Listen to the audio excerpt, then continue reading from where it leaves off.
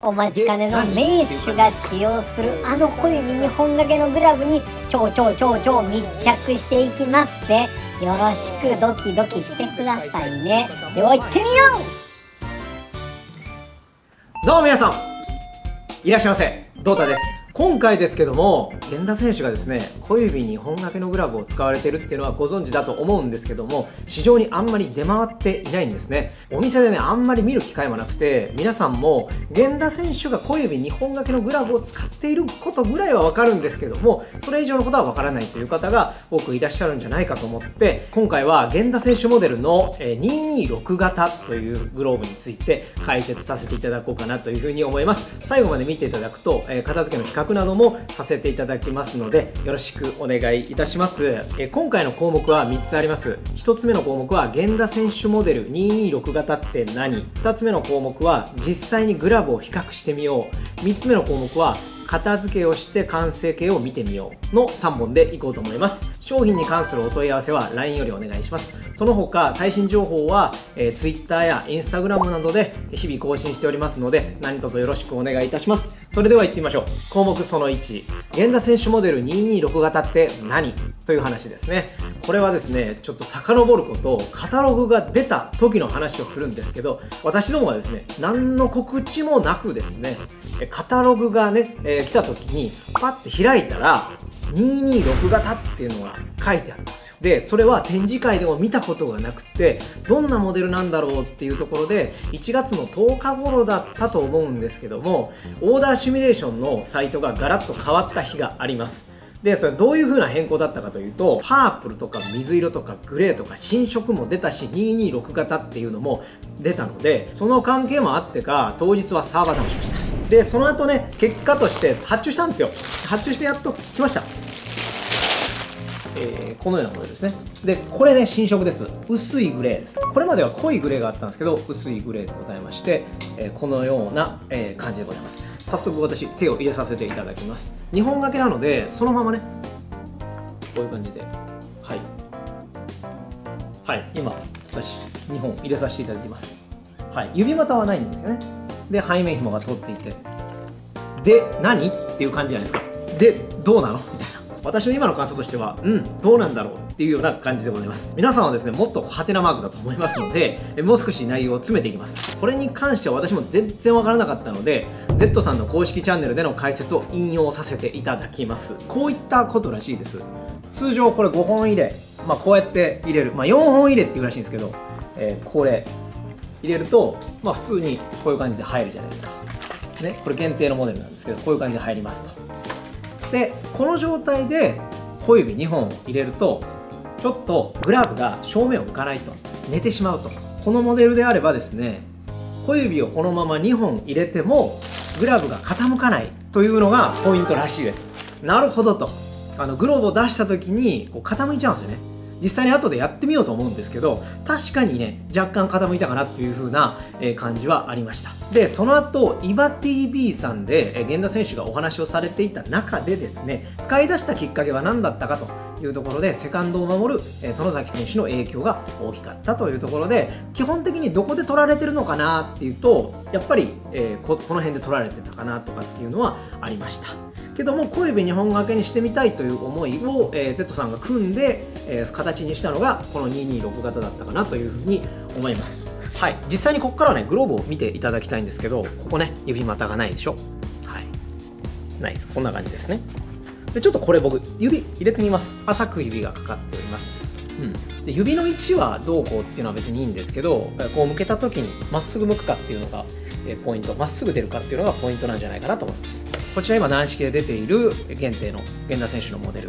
でこれをですね小指2本掛けにして、えー、皆様に向けると若干こう負担がかかるというかまっすぐ向かないというかちょっと傾くかなっていうのは、えー、感じとしてありますね。あでは次にですね実際に片付けしていく前なんですけどこれ、えー、仕上げ前でございます。まっすぐスッと出ますね、まあ、縦の動きもねしっかり最後つけていこうと思います。対しまして同時期にですね中学生の方から5本指で、えー、逆巻きで、えー、つかみでつけてほしいって言われてるのでこの2つの片付けの比較をしていこうというふうに思います。はいでは早速スチームから出してまいりました。はいこんな感じでございます、はい、最初の段階で結構やりましたのでそこまですることはもうないとは思いますがあ結構縦も効くぞ。もういいんじゃないか？で結構ねえっと源田選手もつかめるよっていうふうにおっしゃってたんで本当かなと思いながら、えー今最後肩をつけております、はい、ちょっと指股ないですからね。軽く。はい。今回柔らかめでのご希望ですけどしっかり柔らかくなってるんじゃないかな。でもやっぱこっちの機器の方が今源田選手が使われているグローブあるじゃないですか。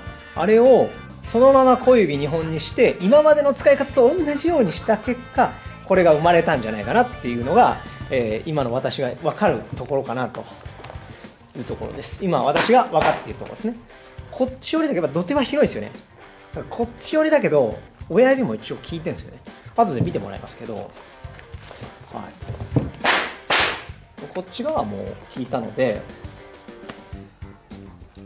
ただ少しねクロート感があるんですよ。皆さんが思ってらっしゃるような縦にガーって掴むような感じよりかは、えー若干こっち寄りになるけど親指もしっかり効いてくるっていうところが現状かと思います。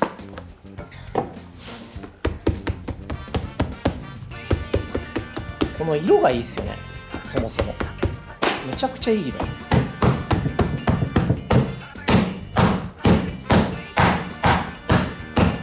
今3ヶ月くらいになったかな。ちょっとは納期早くなったと思うんですけどシミュレーションが出た頃はねもうめちゃくちゃ長い納期になってたんですよ。ゴールデンウィークぐらいまでかかるよみたいな雰囲気だったんでちょっとは今後早くなるんじゃないかなと思います。やっぱ新色出たらね仕方ないかなと思います。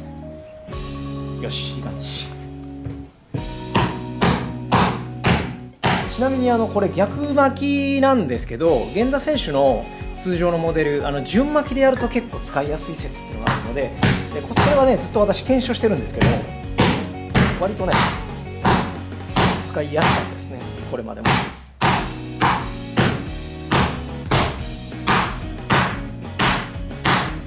OK もうそこまでいいかな。おおおおおおおおおおおおおおおお気がついたら僕ねちょっとこっちにずれちゃうんですけどでも出す時はすごいまっすぐ出るんですよ。ここの位置ってそこまで関係ないかなと思ってあ出るなっていう感じです。ね一応1個は今あるので欲しい方ぜひねご連絡ください。よしよしよしよしよしいい感じだ。OK ではもう1個のこの逆巻きの通常で使う、まあ、学生の方ですね。13歳ぐらいの子なんですけどが使う、えー、素のつかみ取りの源田選手のモデル。逆巻きバージョンを通常の5本の使い方で使う源田選手のモデル。最終仕上げしていこうと思います。これもですね基本的には手元バランスにしてます。なので操作はしやすい。多少大きくても操作しやすいような形で片付けしております。これはもう慣れたもんですよ。もう仕込みの時からもバッチリやってますけども。はい。もう軽くやるだけでつきます。一応ね両方とも湯もみをしてますのでこれはその仕上げになります。しっかり使いますかねほら。5本の指ではい。親指も効くように設定してます、まあ、そうしてあげないとやっぱ学生の方が使いにくいという、えー声もあったので、しっかりその辺はですね使いやすくほらほらほら。使いにくいって言われる方も結構いるんですけどね。僕はそうは思ってはいません。使いやすいと思っております。はい。しっかり効いてます親指が。ね。これも後で見せていきますけども。こんな感じです。もっと開いてもいいんですけど。はい。えーこれ順巻きでソフトボール、えーこんな感じになってます。ちょっと見た感じわかるのかなっていうのも思うんですけど。ソフトボールで使いたいっていう方もまあ一応いけるかなっていうふうに思っております。手元バランスで操作しやすいような形で、えー型を仕上げておりますので、えーこちらも何卒よろしくお願いしますはいそれでは完成形を見ていきましょう、はい、まずこんな感じです。226型やっぱり僕はちょっとこうこっちやりますけどこっちに力がねちょっと入ってるような感じもしますけどもまあこっちの動きもできるというような感じで基本はこっちっていう風なイメージかなという風に私は思っております。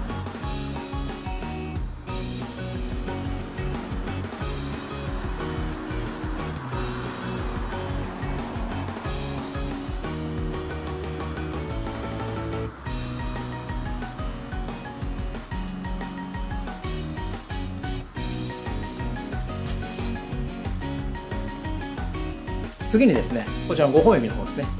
こういう感じです。はい。もう普通にシンプルにつかめる。っていうところを、目標にしておりまして手元バランスで、操作しながらこれね多分ねサードで使われる方なんですけどただ単に深いモデルを作ると、え操作しにくいっていうのもあるので、え手元バランスでなおかつこうしっかり握れるような感じで、え調整してます。もうちょっと柔らかくしてもいいかなというふうに思うので最後仕上げしますけども、えその辺ですねよろしくお願いいたします。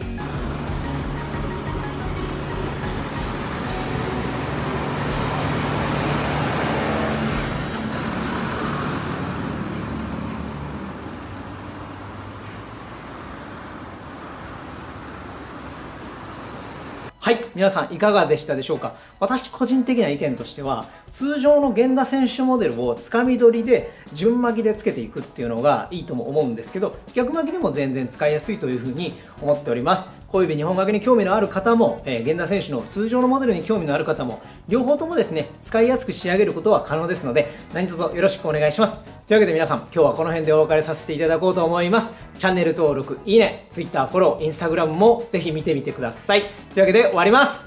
お疲れ様でした。